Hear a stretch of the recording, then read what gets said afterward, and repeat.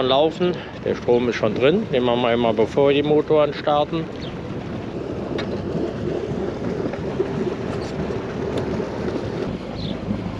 Jetzt geht's auf nach Monikendamm. Anna! Gleich. Und dann geht Peter hinterher und wir fahren dann zum Schluss raus. Ja.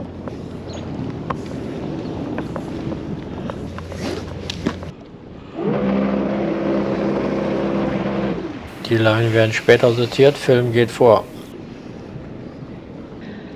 Jetzt haben wir alle drei abgelegt und verlassen Edam.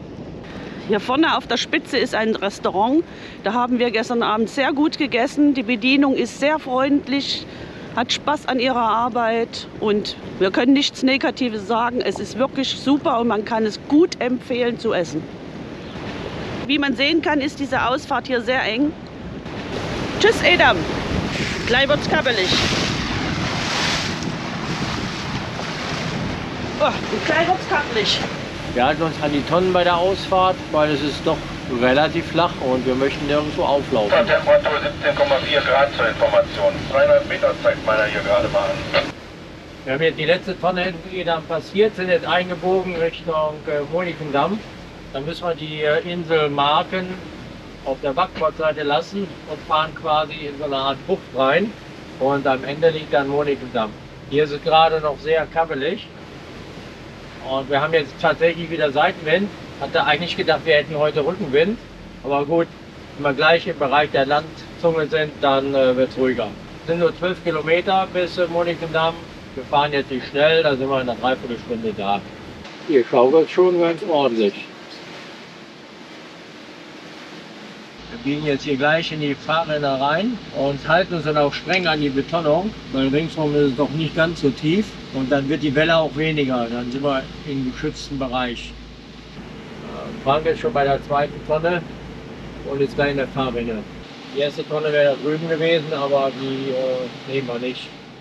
Wir fahren jetzt hier an der Skyline von Bohlendamm vorbei. Das lassen wir heute mal aus. Wir haben auch relativ viele Yachthäfen. Gehören ja schon zu Edam, das ist quasi zusammengewachsen. Ja, wir sind jetzt schon an der Landzunge von Marken vorbei und sind jetzt schon dann in ruhigem Wasser. Vor uns die grün-rote Tonne, die das Fahrwasser teilt. Dort geht es nach Wohlendam. Man sieht schon jede Menge Yachthäfen.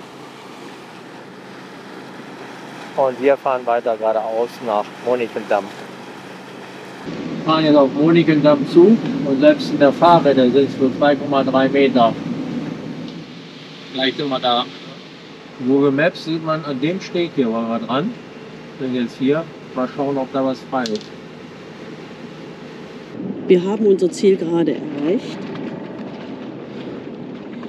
Hier soll man sich beim Hafenmeister melden. Der Weg zum Hafenkontor ist natürlich noch eine ganze Ecke. Jetzt haben wir endlich Plätze zugewiesen bekommen. Frank, könnt ihr da liegen bleiben?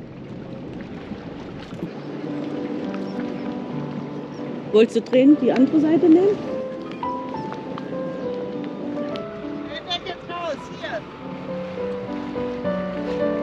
Ja, Ach, die wollen da annehmen. Ach, Hallo.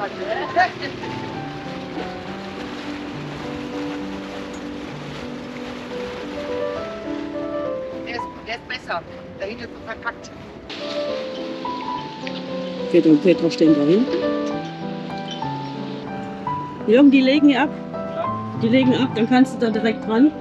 Da haben wir voll den Wind drauf hinten. Wollt ihr nicht doch die andere Seite? Dreh bitte. Uh, uh, uh, uh, uh, uh, uh, uh.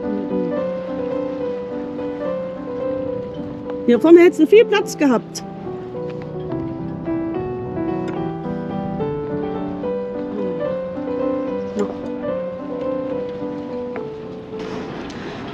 Filmen, Fender, alles.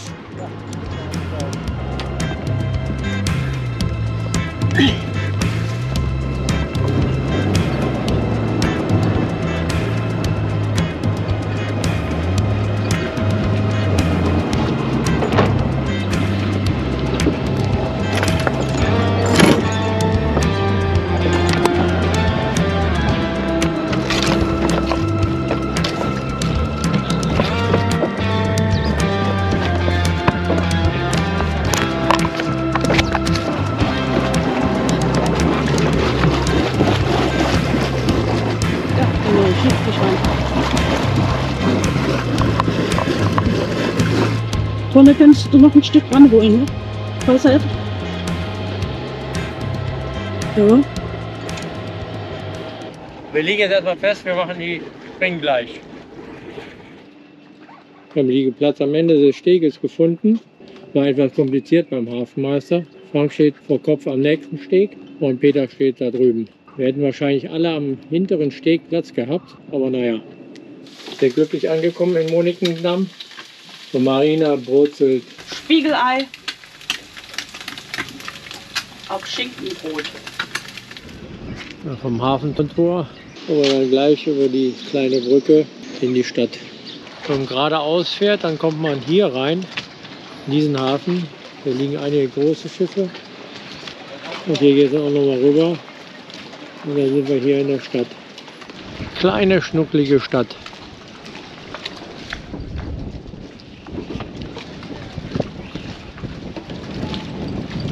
Hier vorne gibt es gleich Eis. Und dann gehen wir weiter. Und dann gibt es hier Kibbeling. Ohne Chips. Ohne Chips. Ohne Chips. Ohne Chips. Fischer Chips ohne Chips. Allein mein Kibbeling. Hier gibt es auch noch einen schönen Laden. Am Wasser. So schnuckelig. In der zweiten Reihe gibt es auch einen Angelladen. Die Schlagläden hier, das ist auch lustig. Kannst du zuklappen. Da kommt direkt ein altes Segelschiff rein. Und hier ist dann die Brücke. Und wir sind dann hier in der kleinen Innenstadt. Durch viele Restaurants, viele Hotels. Hier wird einiges los sein im Sommer. Aber alles Wichtige ist da. Drüben gibt es Tanksäulen, die sind aber abgedeckt. Hier soll es blauen Diesel geben. Und angeblich kostet der 2,60 Euro. Aber da frage ich mich, wer tankt für 2,60 Euro? Hier gibt es auch Volvo Penta Service. Alles Wichtige ist hier. Jetzt gehen wir zurück zum Boot. Sind tatsächlich mal zwei Häfen gewesen. Das ist der alte Hafen Hemmeland. Wir liegen auf der Seite. Hier hinten der Steg ist schon renovierungsbedürftig, da darf man schon gar nicht mehr dran. Und die andere Seite ist Waterland. Dann geht es natürlich da hinten auch zum Hafenkontor. Wir wollen uns nicht überanstrengen, sind ja schließlich im Urlaub. Ja, klar.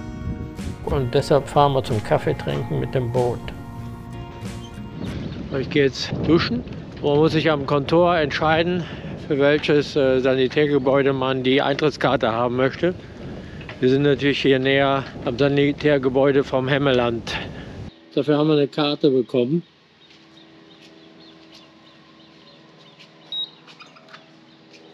Und es geht hinein. Moment. Herren. Dusche muss man einfach die Hand dran halten, dann geht's los. Hand auf den Sensor und nach sieben Minuten geht die Lampe aus, dann muss man fünf Minuten warten oder einfach die Dusche wechseln. Aber ich brauche nur drei. Alt, aber okay. Ja, schön. Die drei Minuten habe ich doch nicht geschafft, bis das warme Wasser kam, bin ich fast erfroren. Aber danach war es gut. Die Mischung war allerdings schwierig, aber es war dann ordentlich richtig heiß. Bin zumindest sauber geworden, alles gut. Das waren noch Zeiten, als es viele Aale gab.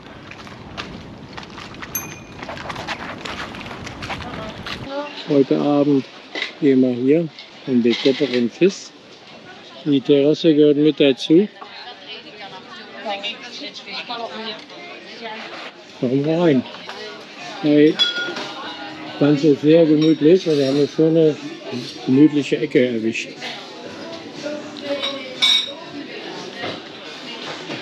Hier im Restaurant hat man ja echt die Qual der Wahl bei den Speisen. Was hast du? Ramon Iberico habe ich genommen. Sieht sehr gut aus. Und wir haben Steak Tartar in kleiner Version. Gibt es auch noch größer als Hauptspeise. und hier gibt es sogar Sashimi. Shimi. Thunfisch und Lachs gemischt. Da freue ich mich jetzt drauf. Das ist, das ist der Wahnsinn, ein ganzes Hähnchen. Ganzes Hähnchen mit Apfelmus. Nochmal steht das da. Ich habe Bavette. Das ist äh, Flautsteak. Ja. Und ich habe den Super Carpaccio.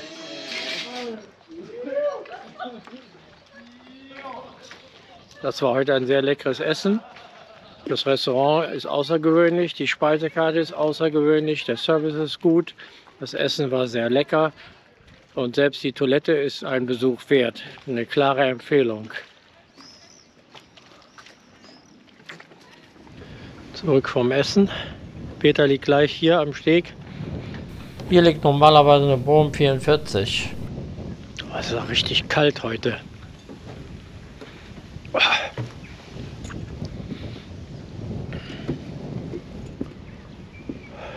Der Tag geht mit einem wunderbaren Abendhimmel zu Ende.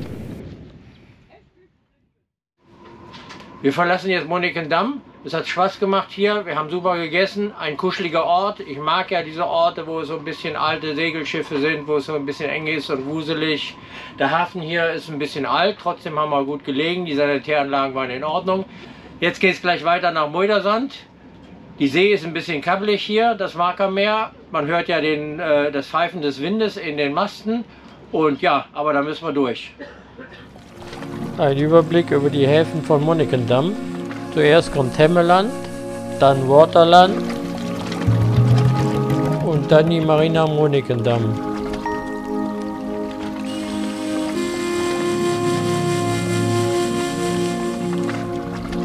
Hier kommen wir rein.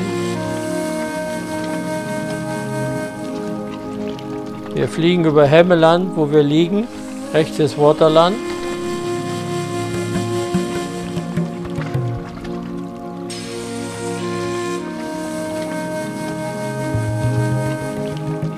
Hafeneinfahrt und das Hafenkontor. Und dann geht's weiter. Rechts die Marina Monikendamm.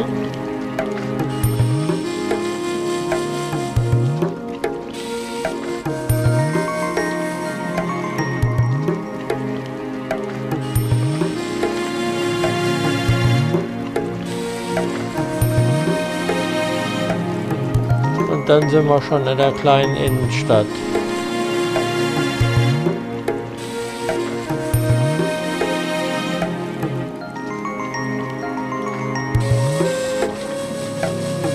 Und dann geht es auch schon wieder zurück.